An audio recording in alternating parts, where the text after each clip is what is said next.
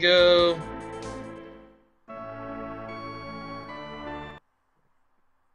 Oh, there's Rydia. Look at little Rydia up at the top right hand corner. And the Bob-ombs come and blow everything up. Those aren't Bob-ombs, what am I talking about? Uh, so, uh, that was her mom.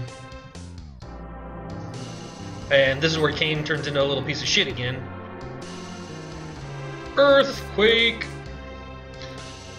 This is where she unleashes her power. I don't want to fight her.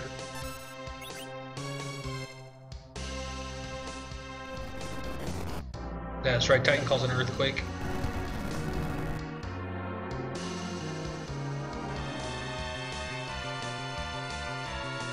I think you have to fight the officer first, otherwise he calls more soldiers, I think. Not 100% sure, but I think that's what happens. Maybe I was wrong. Maybe I was supposed to fight the soldiers first. Oh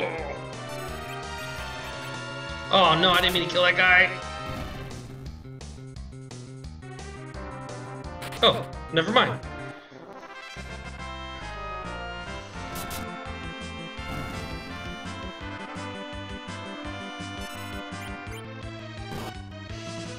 I gotta move her to the back row. Forgot that.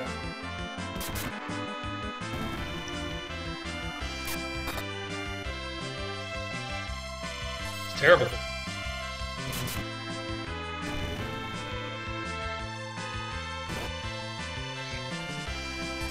God damn it, I forgot she only has 30 hit points.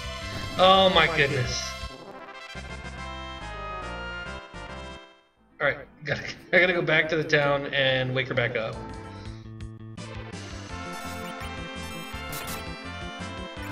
Did she not learn any? She didn't learn any spells yet. God damn it.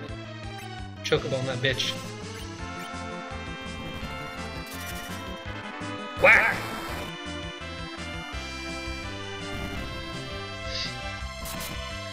She should level up here.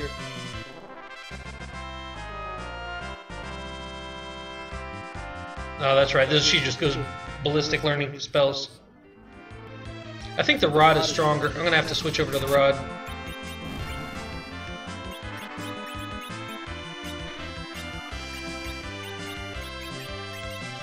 No.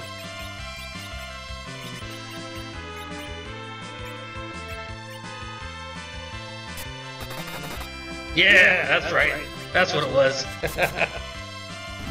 I never understood how that worked. She's got a rod. What is in the rod that makes her shoot shit out?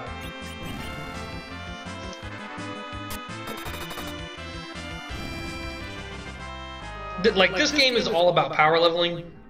If you don't power level at least a little bit, you're you're just gonna get screwed.